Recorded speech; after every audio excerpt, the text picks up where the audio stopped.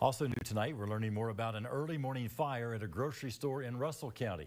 It happened around 4 o'clock this morning at the Save-A-Lot in Russell Springs. Authorities say the fire was at the front entrance of the store. Multiple crews responded to the scene, preventing the flames from spreading.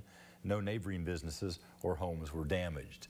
Police are also investigating a dumpster fire at a nearby Dairy Queen that may have been set on purpose. Authorities released video of the suspect who was caught on camera entering the dumpster area. If you recognize this person or have any information about the case, call the Russell Springs Police Department.